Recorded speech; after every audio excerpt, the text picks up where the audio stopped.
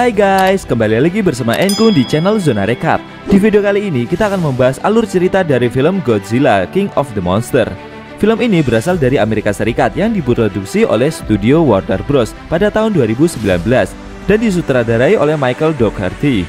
Beberapa pemain di film ini ada Vera Farmiga sebagai Dr. Emma Russell, Millie Bobby Brown sebagai Madison Russell, dan Ken Watanabe sebagai Dr. Ishiro Serizawa, serta masih banyak pemain yang lainnya. Film Godzilla King of the Monster menceritakan invasi monster dari luar angkasa, sehingga membangkitkan para monster lain untuk menguasai bumi. Oke, untuk detail ceritanya langsung aja kita bahas. Let's go! Di malam hari, salah seorang anggota senior organisasi kriptobiologis Monarch yang bernama Dr. Emma Russell sedang mengenang masa lalunya yang menyedihkan tepatnya pada tahun 2014 di San Francisco, di mana kota itu menjadi lautan api akibat dari serangan para monster muto. Suaminya terus memanggil anak terakhirnya yang bernama Andrew.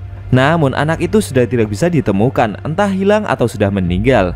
Untungnya kala itu serangan para monster muto tersebut berhasil dihentikan oleh Godzilla. Keesokan paginya, anaknya yang bernama Madison sedang chattingan dengan ayahnya melalui email sambil membuat sarapan pagi. Tak lama kemudian, ibunya ikut sarapan pagi bersamanya. Saat itu, Madison tampak rindu dengan ayahnya karena sudah lama tidak pulang ke rumah. Dokter Emma berkata untuk tidak perlu khawatir karena ayahnya pasti akan baik-baik saja. Dia berencana memperlihatkan mengenai sebuah alat penemuan yang hebat berupa mention bioakustik. Namun tiba-tiba terjadi gempa. Dan tak lama kemudian, Dr. Emma mendapat panggilan darurat dari perusahaan Monarch 61 di mana ia bekerja. Bersama dengan anaknya, Dr. Emma segera berangkat ke perusahaan yang terletak di hutan hujan Yunan, Cina. Sesampainya di sana, dia diperlihatkan sebuah spora yang telah menetas. Hasil tetesan itu berupa monster yang dinamakan Titanus mosura.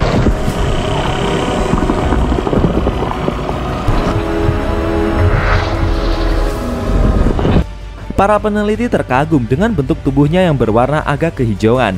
Namun saat semua tim peneliti mencoba untuk menenangkannya dengan mengaktifkan sistem pagar penahan, makhluk itu mengamuk dan membuat kehancuran pada perusahaan.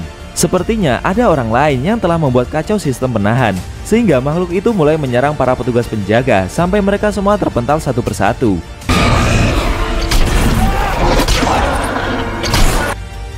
Dalam keadaan genting itu, salah satu petugas mencoba untuk mengambil jalan terakhir dengan menekan tombol bahaya untuk membunuh monster tersebut. Namun dokter Eva yang mengetahui hal itu mencoba untuk menghentikannya. Ia menawarkan diri untuk mencoba menenangkan Monsura dengan alat penemuannya. Dokter Emma pun mulai mendekati makhluk tersebut dan membuka alat penemuannya yang bernama Orca. Alat tersebut merupakan alat yang bisa berkomunikasi dengan para monster dengan menemukan frekuensi gelombang yang cocok. Madison yang melihat ibunya berjuang sendirian itu sangat khawatir. Ia pun segera bergegas menemani ibunya itu. Setelah mengulik resonansi gelombang menggunakan orka beberapa kali, akhirnya Dr. Emma berhasil menemukan gelombang frekuensi apa yang cocok. Dan dia pun berhasil menenangkan Mosura tersebut. Madison sampai mencoba untuk menyentuh Mosura untuk sekedar memastikan. Melihat hal itu, semua rekan kerjanya langsung merasa lega. Namun tiba-tiba dari arah belakang ada para pemberontak yang masuk. Mereka semua dengan cepat membunuh semua rekan kerja dokter Emma. Lalu mereka membawa dokter tersebut bersama anaknya pergi. Pemimpin dari pemberontak itu bernama Ellen Jonah.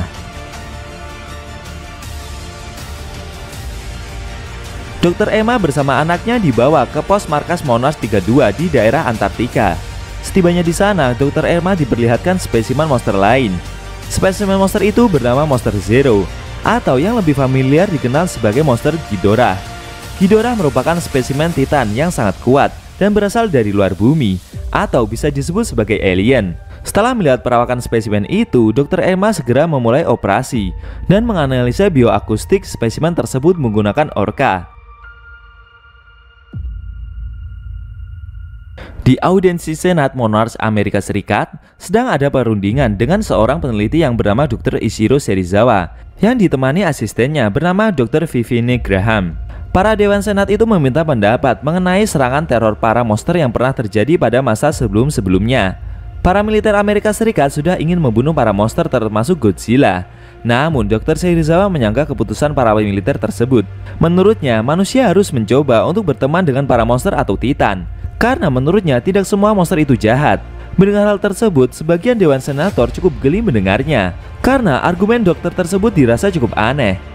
Tak lama kemudian, Dr. Serizawa mendapat telepon darurat dari salah satu anggota organisasi Monarch mengenai penculikan Dr. Emma. Dr. Serizawa pun dengan terpaksa pamit dari rapat itu. Dr. Serizawa bersama kedua asistennya pergi ke daerah Colorado tempat di mana suami Dr. Emma berada. Sesampainya di sana, Dr. Serizawa segera mengabarkan berita sedih kepada suami Dr. Emma itu yang bernama Mark Russell bahwa istri dan anaknya telah diculik oleh suatu kelompok yang tidak dikenal. Kemudian Dr. Serizawa juga meminta pertolongannya untuk bersama-sama mencari Orca karena akan sangat berbahaya jika alat secanggih itu sampai jatuh ke tangan orang yang salah. Mark yang memiliki masa lalu yang menyedihkan dengan kehilangan seorang anak laki-lakinya itu menolak permintaan dari dokter tersebut. Ia memutuskan untuk keluar dari agensi Monarch dan tidak ingin terlibat lagi dengan proyek mengurusi para monster itu. Namun dokter Graham memohon dengan sangat untuk kali ini saja agar ia bersedia kembali ke organisasi Monarch.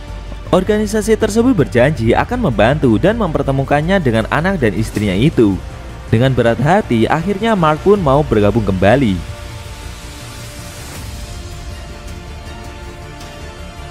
Mereka semua mulai berangkat menuju pos markas Monarch ke-54 yang merupakan tempat di mana mereka melindungi Godzilla. Sesampainya di sana, para anggota Monarch mulai berdiskusi untuk menyusun rencana untuk mendapatkan orka milik mereka kembali. Saat diskusi sedang berlangsung, tiba-tiba dari ruang penahan terdengar suatu teriakan yang meronta-ronta. Mereka pun langsung bergegas menuju ke ruangan penahan tersebut. Terlihat Godzilla sedang resah seperti mendapati suatu panggilan dari luar. Dr. Serizawa memerintahkan untuk mengaktifkan sistem penahan tingkat 2. Namun Mark menyarankan untuk membuka sistem penahan saja agar Godzilla bisa tenang. Dengan berat hati, salah seorang rekan kerja Dr. Serizawa membuka sistem penahan itu. Tampak memang Godzilla sedang tidak baik-baik saja.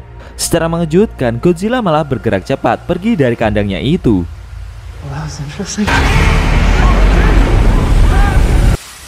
Mengetahui hal itu, Mark meminta untuk melacak arah perginya Godzilla tersebut. Secara tak terduga, Godzilla itu terlacak pergi menuju ke pos markas Monas ke-32 di daerah Antartika, lokasi di mana Dr. Emma diculik. Dengan mengendarai pesawat komando Monas USS Argo, mereka mulai berangkat ke Antartika. Setibanya di sana, kedatangan mereka langsung diketahui oleh komplotan Jonah. Komplotan tersebut mulai menyiapkan para pengawal untuk mencegah mereka. Pasukan Monarch mulai masuk secara paksa dengan menembaki para pengawal.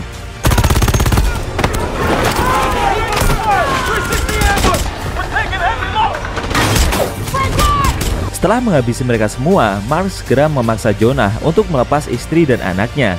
Namun saat Madison mencoba untuk mendekati ayahnya, ibunya itu malah melarang. Secara mengejutkan, Dr. Emma memencet tombol remote untuk melepaskan spesimen monster Ghidorah.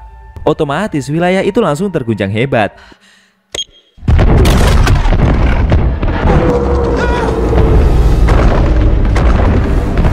Mereka semua langsung berlari menyelamatkan diri masing-masing. Beberapa pengawal Jonah sampai terhempas dan terbentur batu es. Dokter Emma bersama anaknya berhasil kabur dari sana menumpangi pesawat Jonah. Sedangkan Mark masih berlari dari wilayah itu menuju helikopter. Tak lama kemudian monster Ghidorah itu muncul dari bawah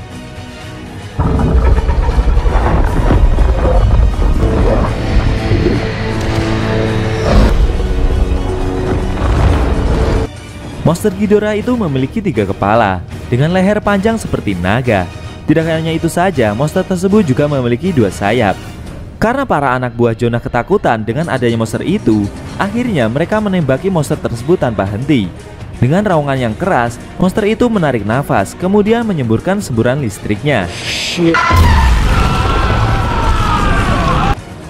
Semburan listrik tersebut sampai mengakibatkan mesin pesawat Dr. Serizawa dan kawan-kawan mati.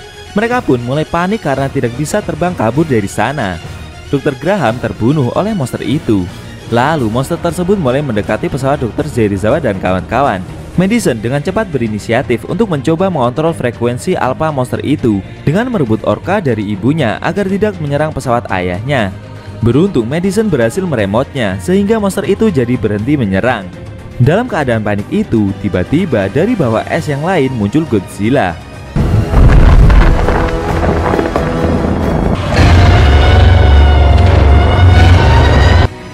Nampaknya Godzilla sudah menanti kedatangan monster berkepala tiga itu. Setelah saling bertatapan, Godzilla dan monster Ghidorah itu mulai bertarung. Pertarungan kedua monster itu sangat keras. Godzilla beberapa kali berhasil membenturkan kepala monster Ghidorah itu ke tanah. Kemudian monster Ghidorah itu ganti yang membanting Godzilla sampai membuatnya terjungkal. Lalu dengan mengeluarkan kekuatan pamukasnya, Godzilla menembakkan semburan api biru ke arah monster tersebut. Monster Ghidorah tidak tinggal diam. Dia juga mengeluarkan semburan listrik ke arah Godzilla. Serangan itu sampai membuat Godzilla jatuh tidak berdaya. Sementara itu, Mark dan kawan-kawan terus berupaya pergi dari lokasi tersebut. Tak lama kemudian, bantuan organisasi Monarch datang dengan mengendarai pesawat jet tempur. Lalu dengan cepat melancarkan tembakan rudal ke arah monster Ghidorah itu. Serangan rudal tersebut berhasil mengusik monster Ghidorah. Namun monster itu malah mengepakkan kedua sayapnya dan pergi terbang ke langit. Setelah melihat kejadian itu, para anggota Monarch sangat menyayangkan atas kematian dari Dr. Graham. Dr. Serizawa dan kawan-kawan dengan berat hati masih tidak percaya. Ternyata Dr. Emma memang sengaja bekerja sama dengan komplotan Jonah. Mereka pun berniat mengejar Dr. Emma untuk mempertanyakan tujuannya dengan melepas beberapa spesimen monster itu. Tidak lama kemudian mereka mendapat panggilan Veskal dari dokter tersebut.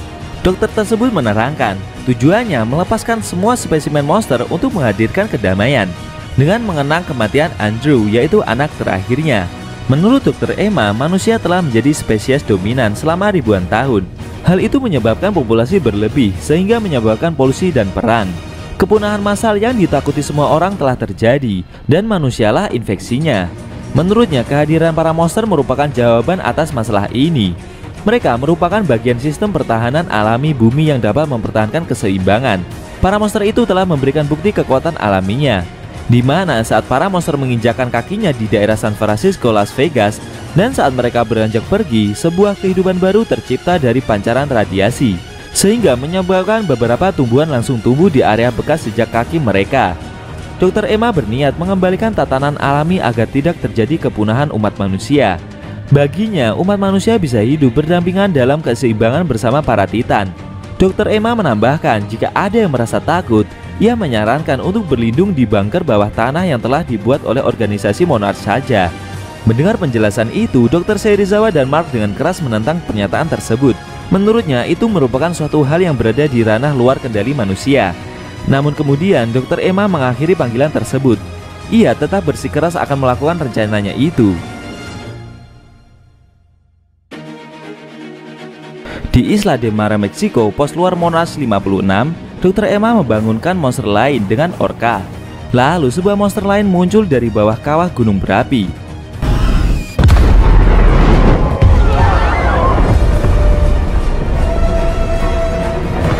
Monster itu memiliki paruh yang tampak kokoh dengan dua sayap. Monster tersebut bernama Rodan. Dokter Serizawa dan rekannya kemudian mencoba untuk menghentikan pergerakan dari monster itu. Tampaknya Rodan keluar karena merasakan kedatangan Ghidorah. Ternyata setelah diselidiki, Rodan sedang melakukan panggilan kepada monster itu untuk menantangnya bertarung. Para pilot organisasi Monarch mulai menembakinya untuk menghentikan pergerakan monster tersebut.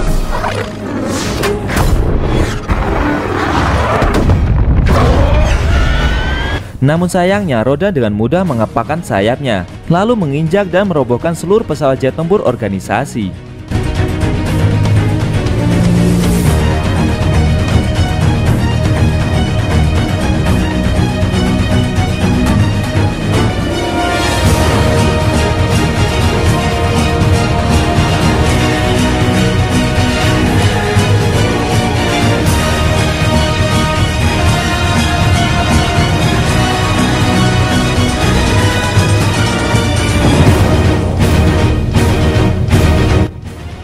Lalu tak lama kemudian Rodan bertemu Ghidorah dan keduanya pun mulai bertarung.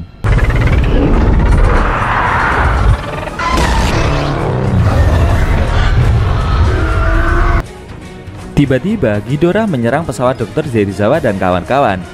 Sepertinya monster itu telah berhasil membuat takluk Rodan dan menjadikannya anak buah. Secara mengejutkan, dari arah lain Godzilla datang menyelamatkan Dr. Zerizawa dan kawan-kawan.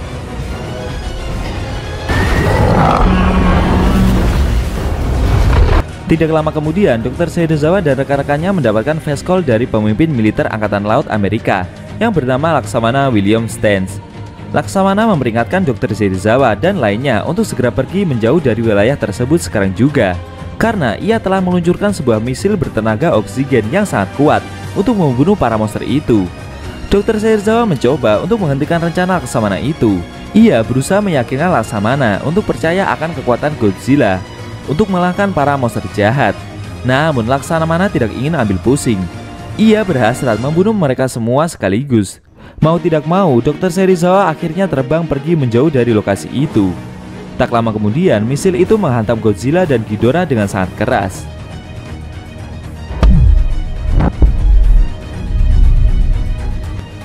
Ledakan misil tersebut sangat besar, namun yang mencengangkan Ghidorah tetap tidak mati. Hanya salah satu kepalanya saja yang putus terkena efek ledakan barusan. Bahkan tidak lama kemudian kepalanya itu bisa tumbuh kembali. Setelah itu ia meraung keras memanggil para titan lainnya yang ada untuk mengajak mereka menguasai bumi.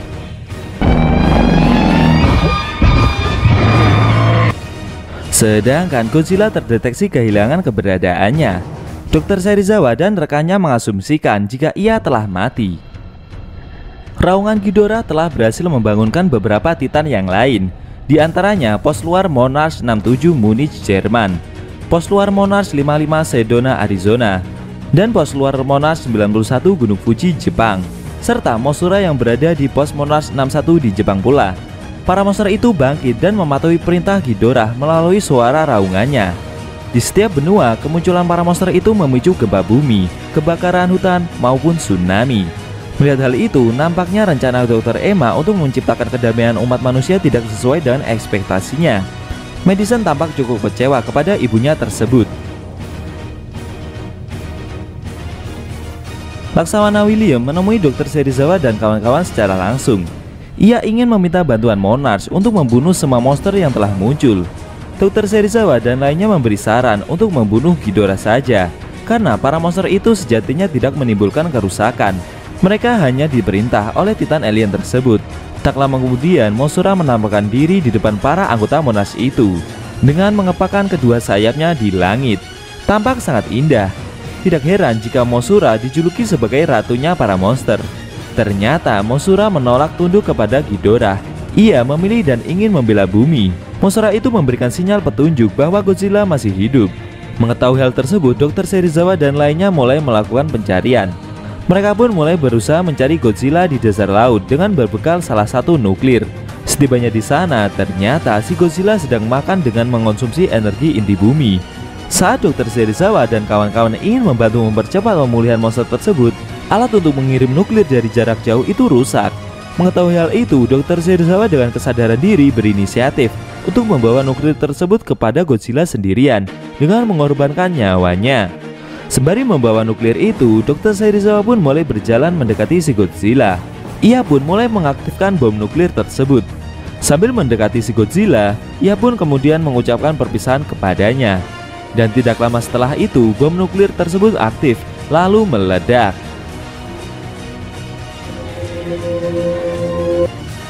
Aksi pertolongan itu berhasil. Godzilla kemudian menampakkan diri dan keluar dari dalam laut. Kini kekuatan Godzilla telah pulih kembali berkat menyerap radiasi ledakan nuklir tersebut.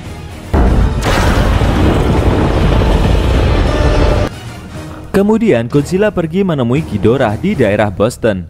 Dr. Mark dan lainnya pun tidak ingin menyia-nyiakan pengorbanan dari Dr. Serizawa. Mereka memutuskan untuk membantu Godzilla melawan Ghidorah.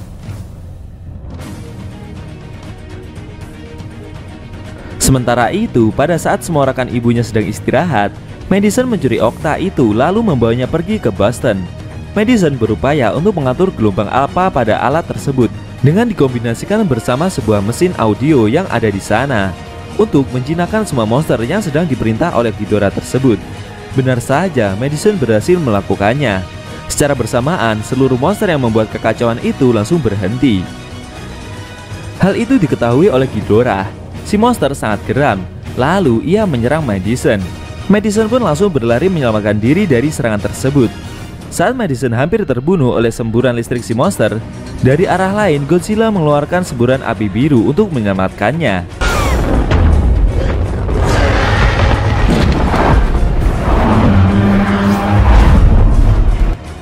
Akhirnya Godzilla dan Ghidorah kembali saling bertarung.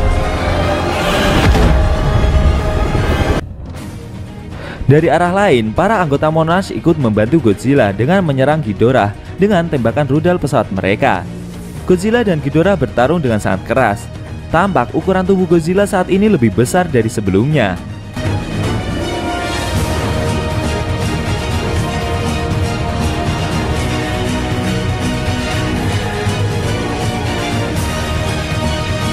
Hingga akhirnya Godzilla bertarung di ambang batas kemampuannya. Ia berhasil dibanting dari langit oleh Ghidorah sampai tidak berdaya.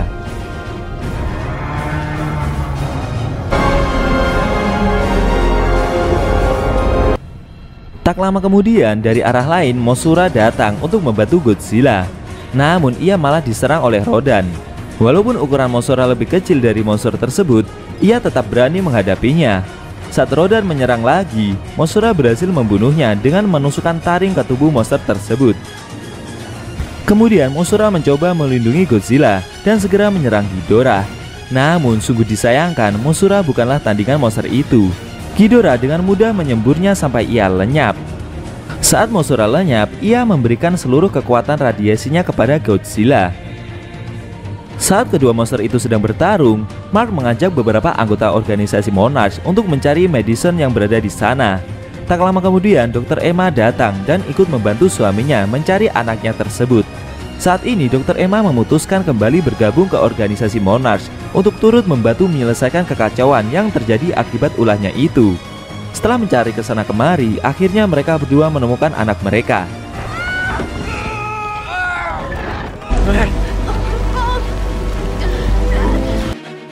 Melihat Godzilla yang sudah tidak berdaya tercengkeram oleh Ghidorah itu, Dr. Emma berusaha untuk mengalihkan perhatian si monster dengan menggunakan orka agar Godzilla bisa memulihkan kekuatannya. Setelah itu, Dr. Emma menyuruh anggota Monash yang lain untuk segera pergi dari lokasi tersebut.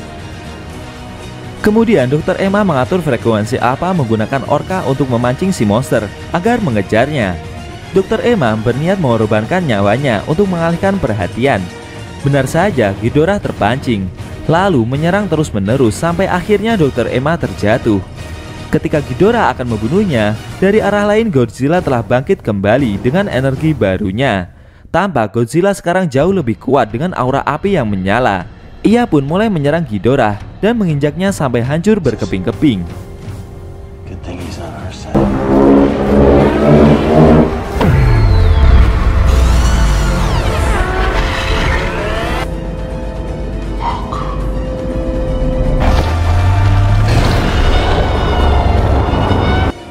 Godzilla telah berhasil membunuh Ghidorah yang ingin menguasai bumi.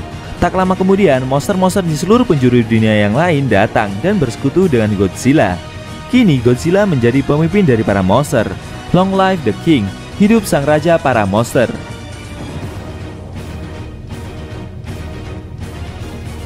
Waktu telah berlalu, Alan Jonah masih belum menyerah untuk menguasai para monster. Ia bersama komplotannya mengunjungi sebuah lapak pelelangan organ titan di Isla de Mara, Meksiko. Kemudian ia membeli kepala Ghidorah hasil tebasan serangan Godzilla pada waktu sebelumnya. Nah, itu tadi alur cerita dari film Godzilla King of the Monster yang rilis pada tahun 2019. Bagaimana menurut kamu? Jangan lupa tinggalkan komentar kalian ya. Jangan lupa juga kasih like dan klik subscribe serta aktifkan loncengnya ya guys, biar kalian selalu dapat notifikasi jika kita upload video terbaru. Oh iya kalau kamu mau request film apa yang pengen dibahas selanjutnya Cukup tuliskan di kolom komentar. Ntar bakal Enkun pilihin mana yang bisa dibahas duluan. Jika ada kata-kata dari Enkun yang kurang pas Enkun mohon maaf Dan sampai bertemu di video review film Zona Recap selanjutnya